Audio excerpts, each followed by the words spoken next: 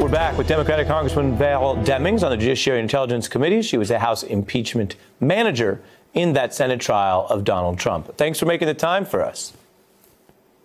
It's good to be with you, Ari. Your reaction to this latest firing, and do you see uh, a pattern that is illegitimate? Well, let me start here. You know, Maya Angelou said, when people show you who they are, believe them and President Trump, and it looks like even long before he occupied the White House, has zero interest in transparency or oversight. We're talking about a president who believes that if he fires the person in charge of oversight, then there's no scandal. We're talking about a person who, just like he's indicated several times, if we don't do testing for COVID 19, that maybe 2 million people in this country will not contract COVID 19. The Senate had their opportunity during the impeachment trial to hold Donald Trump accountable and perhaps avoid a lot of that what we're seeing right now. But they either didn't have the political will, the courage, or the backbone to hold him accountable. And so here we are. Yet another watchdog has been fired for doing his job, faithfully performing and executing the duties of his job, which is simply disgraceful.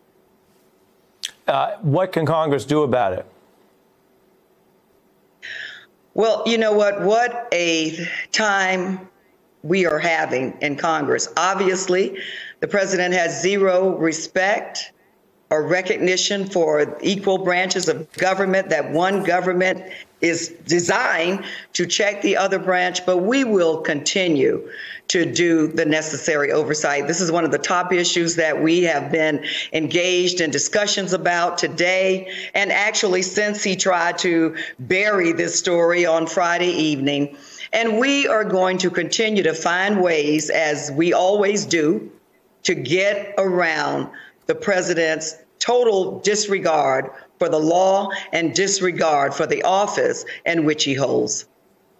Uh, the president, uh, as a larger pattern than even beyond the watchdogs, of course, he has welcomed and embraced the watchdogs who have issued reports that have been critical. Uh, there was an IG report we covered extensively um, that found some problems, for example, in uh, how James Comey performed. Uh, the president liked that because uh, apparently, by his own admission, he views this as a chance to weaponize the system of government against people uh, his, his opponents and, and then wants to use it for his loyalists and will remove those who don't go along with it. It's the opposite of, as mentioned, the legal requirements of the watchdog. Uh, I want to play Attorney General Barr responding to something else Donald Trump has been doing. The watchdogs generally uh, don't deal with prosecution. They deal, uh, as, as you know, but reminding our viewers, with oversight.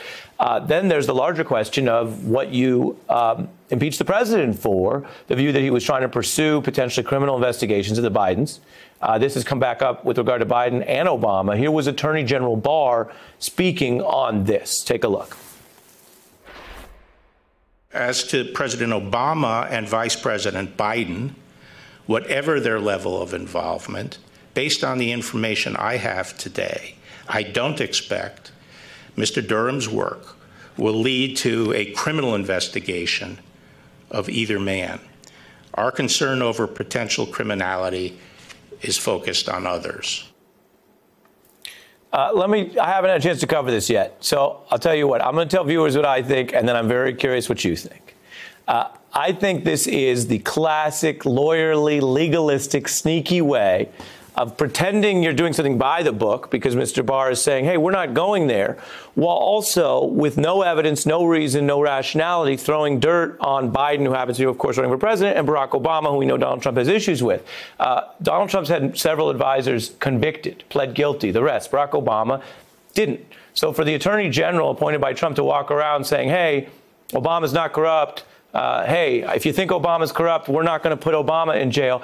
That strikes to me like really backwards. I'm curious what you think. Do you think this statement is on the level, or do you think Bill Barr is doing some sort of political thing? Uh, your views on all of it. Well, Attorney General Barr has had several opportunities to act like an Attorney General. Remember, we are talking about the same man who came out with a summary of Bob Mueller's report that really had nothing to do with the report. It was designed to really deceive the American public. And look, Ari, it reminds me of smoke and mirrors. That's absolutely correct. I'll stand at the podium as the Attorney General and say, well, there's nothing to see here. While at the same time, he is allowing the president to carry that narrative and others to carry that narrative. Remember, even in the Biden case, the president was not interested in an actual investigation. Right. It was just the announcement, remember, of the investigation. Yeah. Because if you can spin that story, the damage is done. And so I think, once again, Attorney General Barr is trying to deflect our attention while the president continues to undermine our country, undermine our nation, and continue to try to throw dirt on the previous administration yeah. and not effectively deal with what's right in front of him the coronavirus. Right. And, and we should mention uh, one of the issues you're doing oversight on was the ousting of a watchdog at HHS, which deals with the virus response. I'm out of time, uh, but inquiring minds want to know, uh, Congresswoman, is it a working fireplace behind you or no? it's a gas fireplace. Does that count? Yeah, it counts if you can turn it on. Because sometimes you go to, you know, you go to these. Yeah. You go to historic neighborhoods or in Brooklyn, and it's not. It's there. It's beautiful, but it, you can't do anything in it. No, well, we stay can. Warm. But remember, I'm in Florida, so yeah, I'm not right. turning not it on today. It on right um, uh, thank you for joining us. Stay, stay safe at home, of course. Congressman Val Demings, appreciate it. Hey, I'm Ari Melber from MSNBC. You can see more of our videos right here, or better yet, subscribe to our YouTube channel below. You could have been anywhere in the world, but you're here with us, and we appreciate that.